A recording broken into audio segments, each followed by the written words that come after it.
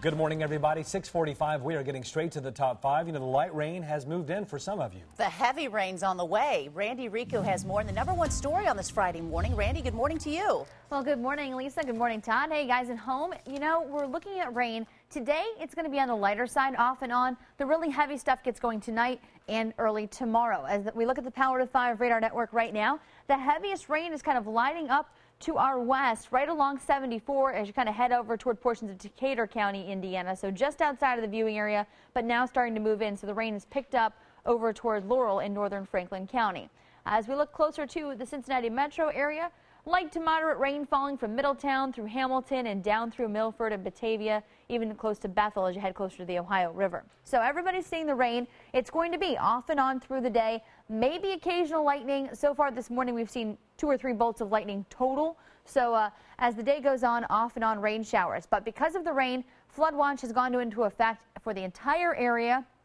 Here's one of the reasons why. We're watching the rivers, of course. For the Ohio River at Cincinnati, uh, right now at just shy of four, uh, 50 feet, it is expected to crest just shy of 52 feet, which would be flood stage on Sunday, but that really doesn't include the rain that's expected to fall tonight and tomorrow. Right now it's 44 degrees outside, and as we take a look at your day planner, temperatures are going to climb up to the upper 50s today with rain off and on. In some spots, most on average will be getting one to two inches of rainfall, but we could have pockets with some thunderstorms tomorrow of areas seeing upwards of three inches of rain. Let's see what's happening now on the roads. Brandon? Well, good Friday morning, everyone. Traffic already very slow in a few spots. I'll show you a few jam cams in just a few seconds. Keep this in mind if you travel on West Mitchell Avenue. We had a water main break yesterday. As of right now, one lane is blocked on the westbound side of West Mitchell Avenue between Spring Grove Avenue and Kennard Avenue. So just use caution in that area and give yourself a few extra minutes. Let's take you outside and show you a few slow spots. 75 at the Ronald Reagan. This is looking southbound, and as you can see, traffic already very slow in this area.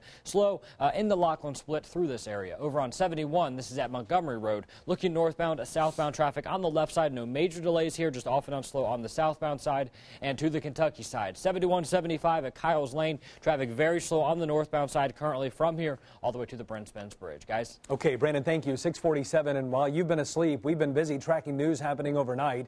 Stories new this morning roll in at the number two spot. And we start in Colerain Township, where the search for a shooter is underway after a homicide. Overnight, we learned the name of the victim, 44 year old Thomas Daniel. Police found him with multiple gunshot wounds at the Ashley Woods apartments. No suspects so far. If you know anything that can help police, call Crime Stoppers at 513 352 3040. Now at Clifton Heights, a couple of college students helped catch one of Cincinnati's most wanted men. Police started chasing Robert Johnson in Elmwood Place. He ran over some stop sticks on Warner in Clifton Heights and he jumped out of his car. That's when he ran to a nearby house, banged on the door, and tried to force his way inside. But the college students who live in the house did not let Johnson get very far. We're also hearing that he has a long criminal record, including trying to run over his girlfriend just last month.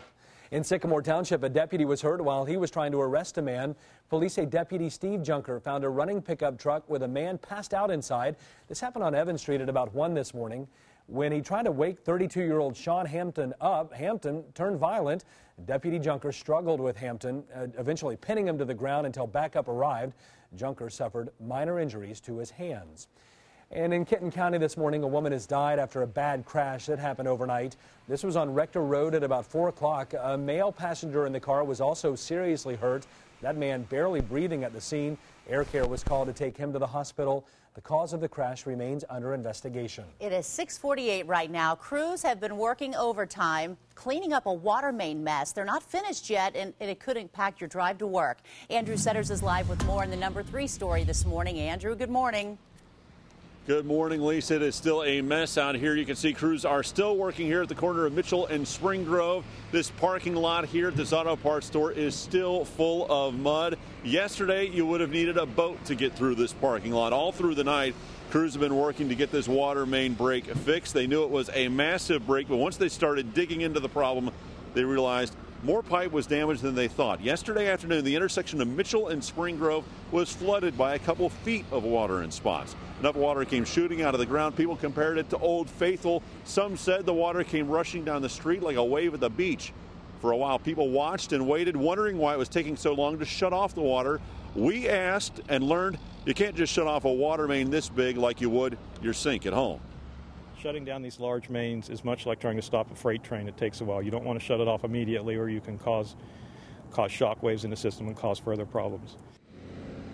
But they did get it shut off. The water has receded. The water that's on the ground now is from some rain that came through just a short time ago, and crews are still working here to try and get all the repairs made and get that massive hole in the ground filled back in. Live in Spring Grove Village, Andrew Setters, News 5. That is a gigantic mess, Andrew. Thanks very much. 10 minutes in front of 7 now. Politics. After a long week of protest, hearings, and finally a vote, Senate Bill 5 is on its way to becoming law. That's what many think. That's not stopping tri staters, though, from letting their opinions be heard. We have more on SB 5 and our number 4 story. Hearings on the bill, uh, uh, hearings on SB 5 in the House are expected to start next week and get strong support from a Republican led chamber. Now, while the speed of the bill's passage in the Senate is energizing Republicans, Democrats say they are already making plans to go to the ballot box to reverse any law that passes. Well, here in Cincinnati, people are rallying in front of O'Charley's at the Eastgate Mall this afternoon at 5. Organizers say more than 100 local residents are going to gather to support police, firefighters, and teachers, and they say anyone is welcome to attend. In just a few hours, we could get some good news about the economy, but is it good enough to get people back to work? Kate Amara has more in the number five story from our exclusive Washington Bureau. Economists predict the February jobs report will show employers added some 200,000 jobs last month, with the unemployment rate ticking up to 9.1 percent. Wall Street begins this day on a high note, rallying to its highest level in three months on Thursday thanks to encouraging news from the Labor Department. A sharp decline in applications for unemployment benefits, along with positive reports from retailers and the service industry. Analysts say it's more evidence hiring will pick up this year, and economists say an increase in the unemployment rate is actually a good sign. People that have been on the sidelines that have said, I'm not even going to try looking for a job because there's nothing there for me.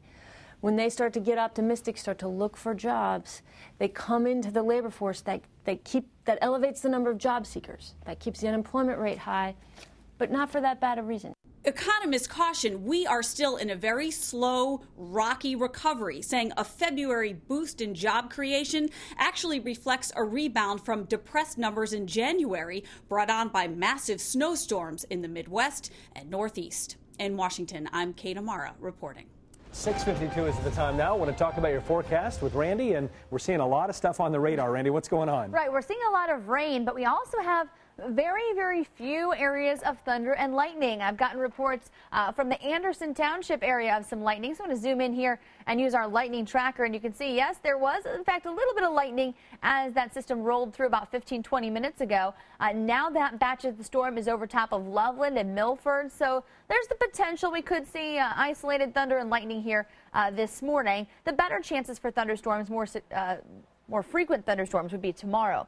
Outside right now, the heavier rain is lining up and through Indiana, so all of this is going to be sliding through during the morning hours. Just expect off and on rain uh, for kids heading out to school this morning. Low to mid 40s for the ride home, mid 50s. Tonight and tomorrow are going to be much more soggy outside, guys.